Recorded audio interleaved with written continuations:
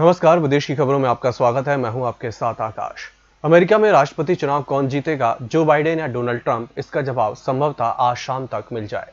फ़िलहाल बाजी बाइडेन के हाथ लगती नज़र आ रही है। न्यूयॉर्क टाइम्स के मुताबिक वे दो इलेक्टोरल वोट जीत चुके हैं। ट्रंप के खाते में 214 वोट हैं। बाइडेन ने अपनी पार्टी के बराक ओबामा का 12 साल पुराना रिकॉर्ड तोड़ दिया। गुरुवार सुबह तक Biden 7 crore 10 lakh popular vote हासिल कर चुके थे।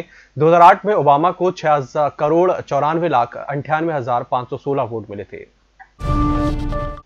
ट्रंप ने वोटों की गिनती पर सवाल उठाया है। इसके लिए ट्रंप सुप्रीम कोर्ट पहुँच गए हैं। ट्रंप ने ट्वीट कर कहा, कल जहाँ हम जीत रहे थे, वहाँ अचानक पीछे कैसे हो गए? पिछली रात मैं मजबूती के साथ लीड कर रहा था। कई राज्यों में डेमोक्रेट ने मतगणना पर कंट्रोल किया। वहीं बिडेन ने कहा है कि हमें पूरा भरोसा है कि जीत हमारी होगी। मगर यह सिर्फ़ हमारी अकेली की जीत नहीं होगी, ये जीत अमेरिकी लोगों की होगी। हमारे लोकतंत्र की होगी, अमेरिका की होगी। दूसरी तरफ़, ट्रंप के चुनावी अभियान में पेंसिल्वेनिया, मिशिगन और जॉर्जिया सरकार पर मुकदमा दायर किया गया है। इन राज्यों में अमेरिकी राष्ट्रपति ट्रंप अपने प्रतिद्वंदी जो बिडेन से पीछे रह गए हैं। ट्रंप के चुनावी अभियान ने पेंसिल्वेनिया, मिशिगन और जॉर्जिया सरकार पर मुकदमा दायर किया है। इन राज्यों में ट्रंप अपने प्रतिद्वंदी जो बिडेन से पीछे रह गए हैं। ट्रंप के चुनावी अभियान ने यह भी कहा है कि वह वॉशिंगटन में दोबारा वोटों की गिनती करवाना चाहते हैं। राष्ट्रपति ट्रंप के कैंपेन मैनेजर बिल स्टेपियन ने कहा कि हम पेंसिल्वेनिया में जीत की घोषणा कर रहे हैं। ये किसी भावना के आधार पर नहीं, बल्कि गणित के आधार पर है। अगर हम सभी कानूनी बैलेट गिनते हैं तो हम जीतते हैं। अमेरिकी चुनावों के लिए वोटों की गिनती जारी है, लेकिन डेमोक्रेटिक उम्मीदवार जो बिडेन ने एक रिकॉर्ड बना लिया है। बिडेन अमेरिका के इतिहास में पहले ऐसे राष्ट्रपति पद के उम्मीदवार बन चुके हैं, जिन्हें सबसे ज़्यादा वोट मिले हैं। उन्होंने ओबामा का रिकॉर्ड तोड़ दिया है। बिडेन बहुमत से मात्र अब छह इलेक्टोरल वोट दूर हैं। बिडेन को दो इलेक्टोरल कॉलेज सीट पर जीत हासिल हुई है, जबकि राष्ट्रपति ट्रंप 214 पर ही बने हुए हैं। बिडेन को पचास फ़ीसदी वोट मिले हैं, वहीं ट्रंप को अड़तालीस फ़ीसदी वोट मिले हैं। अमेरिका में भारत की तरह चुनाव आयोग जैसी संस्था नहीं है, वहीं हर राज्य के अपने अलग कानून हैं। ऐसे में सभी राज्य इनका पालन करते हुए मतगणना करवाते हैं। यही वजह है कि वहाँ कौन जीता और किसे कितने वोट मिले, इसकी आधिकारिक जानकारी सरकारी एजेंसी के मार्फत जारी नहीं होती। इसके बजाय फॉक्स न्यूज़ और एसोसिएट प्रेस जैसी समाचार संगठनों द्वारा जारी रुझानों से परिणाम का आकलन किया जाता है। इनके पास देश भर की मतगणना के आंकड़ों का संकलन होता है, जिनके आधार पर वे विभिन्न राज्यों में प्रत्याशियों की स्थिति को सामने रखते हैं। इसी के साथ बुलेटिन वक्त चला छोटे से ब्रेक का जल्द हाजिर होंगे।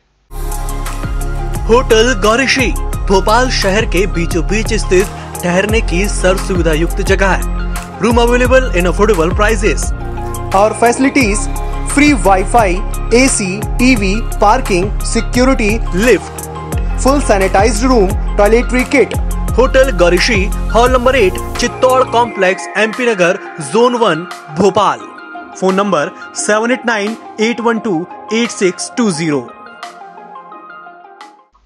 Break के बाद एक बार फिर से आपका स्वागत है और बढ़ते हैं अगली खबर की ओर। हीरा कारोबारी नीरव मोदी को देश में प्रत्यर्पित करने की दिशा में भारतीय अफसरों को एक कामयाबी मिली है। ब्रिटिश अदालत ने नीरव के खिलाफ सबूत स्वीकार कर लिए हैं। इस फैसले के पहले जिला न्यायाधीश सैमुअल गुजी ने वेस्टमिंस्टर मजिस्ट्रेट अदालत में सीबीआई और प्रवर्तन निदेशालय द्वारा पेश कुछ गवाहों के बयानों की स्वीकारता के खिलाफ और पक्ष में दलीलें सुनी। नीरव मोदी एक दिसंबर तक रिमांड में भेज दिया गया है। अमेरिका में राष्ट्रपति चुनाव के आखिरी नतीजों में देरी के कारण कई शहरों में दोनों पक्षों के समर्थकों के बीच झड़प हो गई। वॉशिंगटन में राष्ट्रपति डोनाल्ड ट्रंप के खिलाफ अश्वेतन का आक्रोश दिखाई दिया। यहाँ हज़ारों लोग व्हाइट हाउस के पास ब्लैक लाइव मैटर प्लाजा पर एकजुट हुए। पिछले कुछ दिनों में यह जगह अश्वेतों के आंदोलन का प्रमुख स्थान बना हुआ है। इन लोगों ने ट्रंप के खिलाफ नारे लगाए, सड़कें जाम की और पटाखे फोड़े। भारतीय सेना के प्रमुख जनरल मनोज मुकुंद नरवड़े बुधवार को तीन दिन की यात्रा पर नेपाल की राजधानी काठमांडू पहुँचे।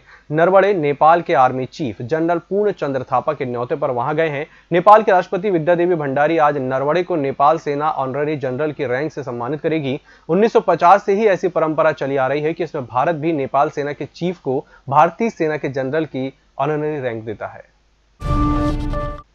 अमेरिकी चुनाव में फ़िल्म मेकर मीरा नायर के बेटे ने इतिहास रच दिया है। जौहरान ममदानी पहले साउथ एशियन हैं, जिन्होंने न्यूयॉर्क स्टेट असेंबली में सीट जीती है। जौहरान को न्यूयॉर्क के 36वें असेंबली ज़िले एस्टोरिया के लिए बिना विरोध चुन लिया गया है। युगांडा के कंपाला में जन्मे जौहरान जब सात साल के थे, तब उनका परिवार न्यूयॉर्क चला गया। जौहरान वहीं पले बढ़े। अपनी जीत के बारे में जौहरान ने लिखा कि यह ऑफिशियल है कि हम जीत गए हैं। मैं अमीरों पर टैक्स लगाने, गरीबों को ठीक करने, गरीबों का घर बसाने और समाजवादी न्यूयॉर्क बनाने के लिए अलवानी जा रहा हूँ। लेकिन मैं इसे अकेले नहीं कर सकता। एक बड़े आंदोलन की ज़रूरत होगी। इसी के साथ मुझे दीजिए इजाज़त। नमस्कार।